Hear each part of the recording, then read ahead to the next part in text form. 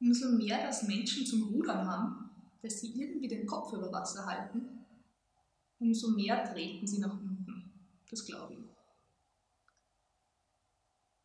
Ich möchte nicht in einer Gesellschaft leben, wo es nur ein paar wenige schaffen, mit viel Ellbogentechnik und mit viel Herumtrickserei, dass sie nach oben kommen.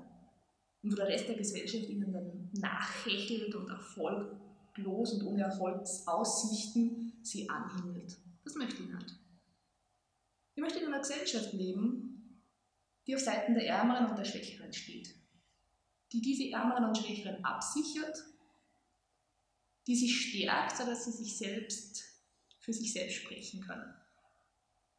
Ich möchte eine Gesellschaft, wo Reiche nicht umschwärmt werden, wo Mächtige nicht umschmeichelt werden, sondern gerade von den Reichen und von den Starken und von den Mächtigen ein fairer Beitrag eingefordert wird.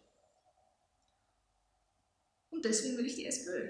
Ich will die SPÖ, weil sie wirtschaftlich auf Seiten der Arbeitenden steht und gesellschaftlich auf der Seite der Schwächeren. Und das halte ich wichtig.